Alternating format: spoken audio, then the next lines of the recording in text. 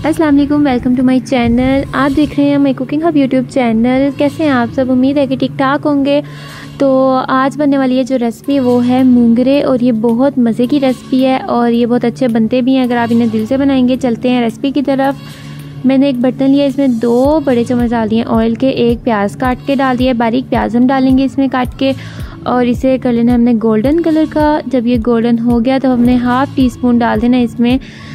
लहसुन अदरक का पेस्ट अच्छी तरह से इसे मिक्स कर लेंगे ठीक है? जब ये अच्छी तरह से मिक्स हो गया तो हम इसमें डाल देंगे मसाले। अच्छा मैंने इसमें पानी ऐड किया है क्योंकि ये लग रहा था ठीक है? मुझे जल, ऐसे लग रहा था कि ये जल ना जाए तो मैंने पानी ऐड कर लिया कोई मसला नहीं है। जब आपको लगे फ्लेम का इशू हो जाता है ठीक है?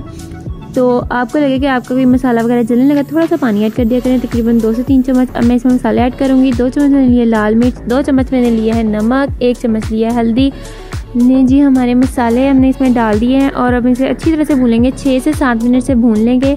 जो सब्ज़ी बना रही हूँ, वो है मज़ेदार से मूंगरे। ये देखें, एक किलो मैंने मूंगरे लिए इसमें डाल दूँगी और हम इसको अच्छी तरह से भून लेंगे। अच्छा कुछ मुंगरे होते हैं, वो सॉफ्ट से होते हैं कुछ थोड़े से हार्ड होते हैं। मेरे पास जो हैं, वो हार्ड थे इसलिए इनको पकने में थोड़ा सा टाइम लगा है। अब मैं इसे भून रही हूँ, जब ये भून गए मतलब तीन से चार मिनट से भून लेंगे, क्योंकि थोड़े से हार्ड थे ना इसलिए। अब मैंने लिए आधा किलो आलू लिए हैं, उन्हें काट लिया है और इसमें डाल दिया है। ठीक है।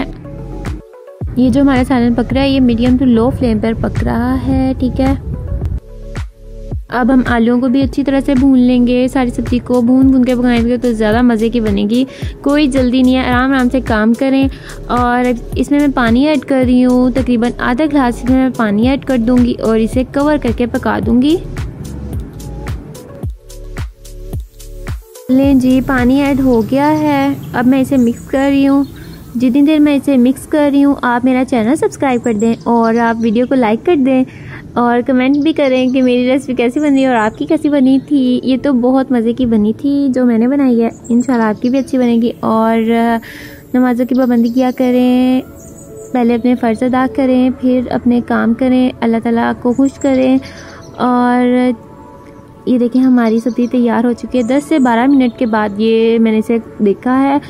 ज़रूरी नहीं है कि आपने इसे कवर करके छोड़ देना। आप इसे बार बार देख सकते हैं, ठीक है? इसे अब मैंने इसमें डाल दिया एक चम्मच जीरा धनिया पाउडर, दो मैंने लिए हरी मिर्चें, इन्हें बारीक काटा था मैंने, वो भी इसमें डाल दी हैं। मज़ेदार से मूँगे तैयार हैं।